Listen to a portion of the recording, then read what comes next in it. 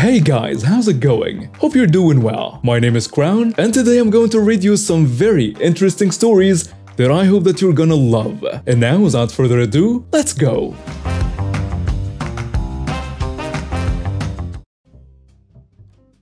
So, this is a bit of an old story of a situation that happened to me about 20 years ago.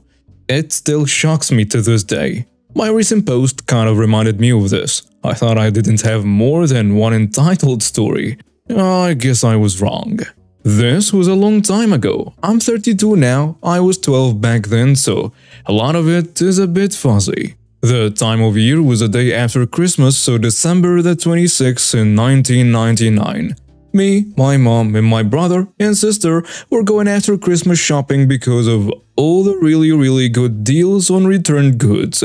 We've done this many times and it's sort of becoming somewhat of a tradition for our family since we never got everything we want on Christmas Day. So my brother was the youngest, so he was latched my mom's hand. My sister and I were playing hide and seek in a closed section, which at this point in my life feels like it wasn't the best idea. My mom gave us a certain amount of money and sent us on our way to go and find the stuff we wanted. Mom told me and my sister to meet her in the electronics section of Big Blue when we were done. The Big Blue we went to was a super center, so the whole store was huge. I went straight for the electronics section because I was a bit of a gaming nerd and wanted to look and see if I could get a Sega Dreamcast cheaper than normal. My sister went to look at dolls and girls' toys. Now the story is set up. So first I asked the person working at the counter could they get me the last Dreamcast they have behind the glass. The cashier tells me, sorry little man, you need your parents here to buy this. Like a godsend, my mom was right behind me with my sis and brother, watching me making sure I was safe. My mom tells him, yes, that's me. Sorry, I told him to look for what they wanted. I figured my son would come here. He loves video games. It's okay with me if he gets the console. I was a hyperactive kid, so I literally started jumping for joy as a guy pulled a Dreamcast out of the cabinet until the entitled kid snatches a box and runs back to his mom. Mommy, can I get a Dreamcast? Oh, sweetheart, you can have whatever you want. The cashier tells her, Excuse me, ma'am. I was pulling that box down for this little boy right here. He pointed to me while I was on the verge of tears. Mine! The kid screamed. My son deserves it a lot more than that little black boy. Excuse me, witch? Come again? My mom tells her. You heard me. You people don't even deserve to shop in this country. You don't belong here. My sister almost snapped and threw something at the entitled mother, but my mom held her back. Let's go on, son. Okay, mommy. Mom says, Listen here, you big jerk. You're going to give my son that box back or I'm going to shove it so far up your butt, your racist and sisters will feel it. Then the cashier says, Ma'am, I'm gonna ask you to leave the electronics department without a Dreamcast here. It's first come first serve and your boy snatched the system from my hands, so first put the box down and then leave. Not exactly what he said, but it was pretty close. Also, I think he could have gotten in trouble for this. My eyes lit up at my mom and she looked back at me with a symbol patting me on my head. My eyes lit up at my mom and she looked back at me with a smile patting me on my head. Ah, fine. But I'll be filing a complaint with corporate on how we were treated today.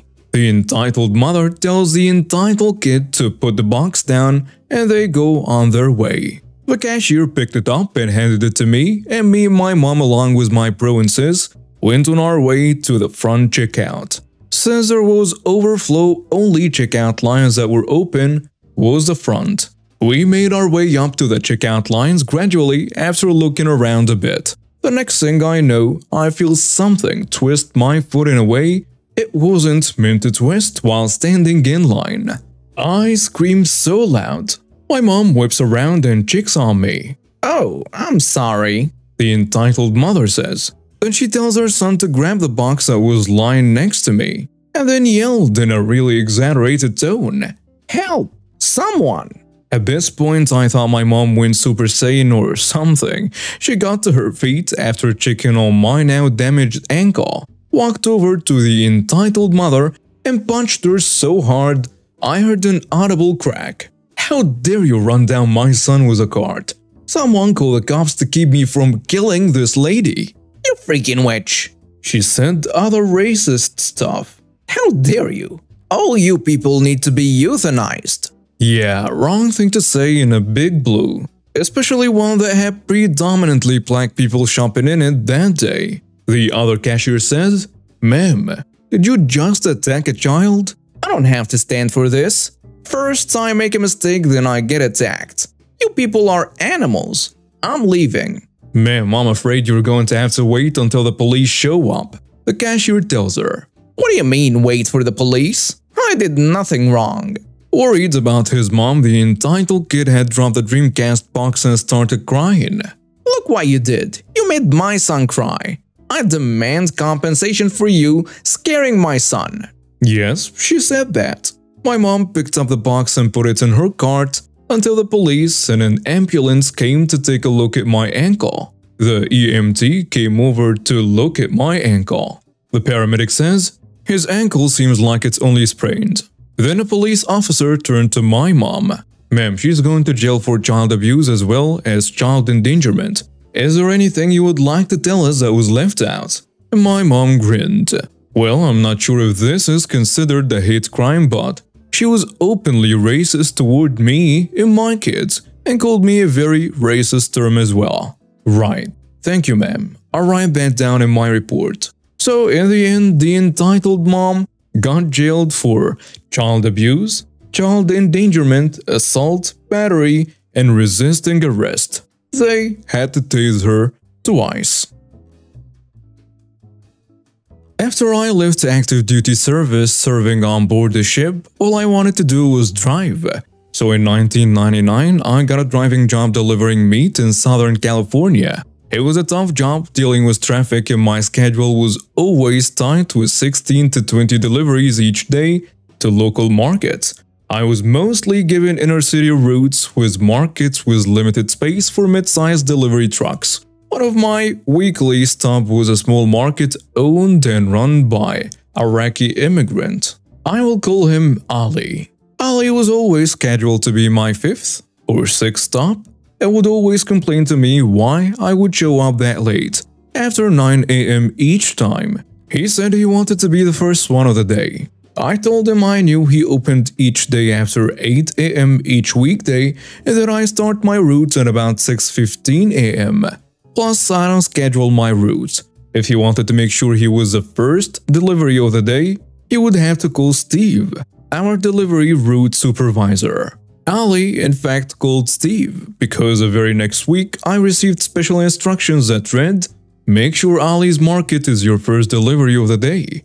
I had my normal amount of stops that day, about 18, and I knew that all will be pushed back at least 2 hours because I knew Ali won't open until 8 am and he will not open the rear door until an hour later.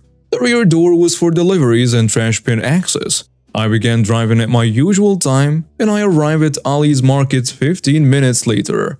Ali's Market is closed. I had my orders and I will make sure Ali's Market is the first one of the day.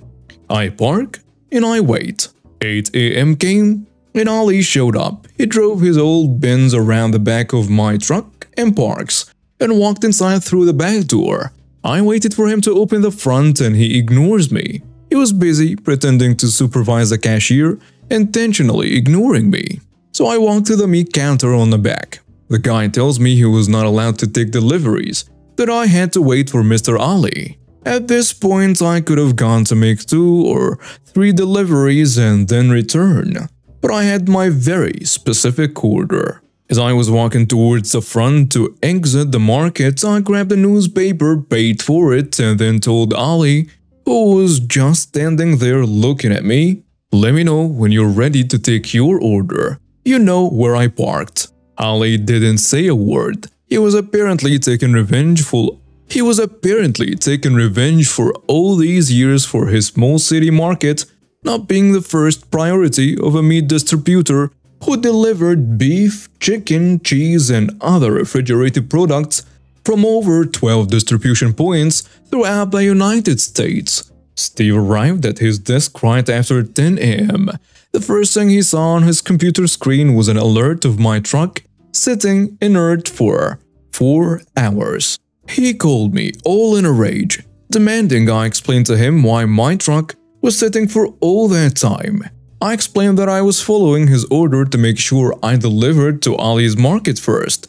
Steve hung up and called Ali. Whatever Steve told Ali made Ali to get his whiny butt out of his crappy little market and take delivery of his meat order. About 14 boxes of products, if I recall correctly. I then began to rush through the rest of my stops, not wasting time at all and at the end of my day, I was the last driver back to the warehouse. I got an extra $80 on overtime because Ali cried for not being the first delivery of the day. I never returned to see Ali again. Apparently, we dropped his whiny butt as a customer. This is my first post I ever made on here, and I have a few stories to tell if anyone is interested. But here it is. I used to work at a gas station. Me being only 20 at the time, I needed a job since I was new to my area after moving from one state to another. And the job was good. The manager, she was awesome. She was the sweetest thing before she left. And the manager after was just as awesome before I moved to a new apartment. But not so much for the previous assistant manager when I started working there. Let's call him Richard for obvious reasons, and let's call the first manager Angel, obviously not a real name. Richard was known to be very hostile, creepy when not around the manager, and made us try to do his load of the work and blamed us for being lazy when we couldn't do it in our jobs fast enough. My co-workers and I have brought the situation to the higher-ups numerous times, and as much as she wanted us to be heard, Angel couldn't do anything, and it came to a boiling point two months down the line on my end. Little fact about me, I'm timid, I'm autistic, and I'm very, very stressed when someone threatens me with my life.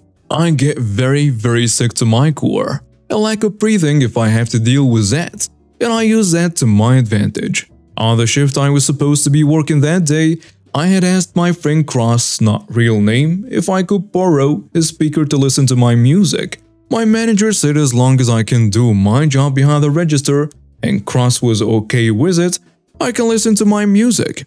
And I asked specifically if I can borrow it to take home for a couple days until my new speaker came in that I brought the previous paycheck. Cross said okay, and shift change happened, and Richard came in. He sees me listening to my music and he asks me to play his music from his phone on cross speaker. I said no. The speaker is mine for the next couple days and I don't want to be held responsible for any damage. He then whispers under his breath for me to hear but for the cameras in the store to not pick up. I have a knife, you know? And I basically, in a single moment, and quickly too, came up with a way to end his nonsense. The revenge. I yelled at him loud enough so the cameras can pick it up, knowing that he would have to say something to defend himself. Why are you threatening me with a knife? And I kinda had a mixture of fear if he actually had one, and determination to make this man suffer for me and my co-workers' verbal abuse and sexual harassment for the past couple months. He backed away and said, Hey, hey, hey, it's just a joke, chill out. And I knew I had to do something because at that point I said, A joke? Huh? Here is a good joke. Have fun working alone. I quit.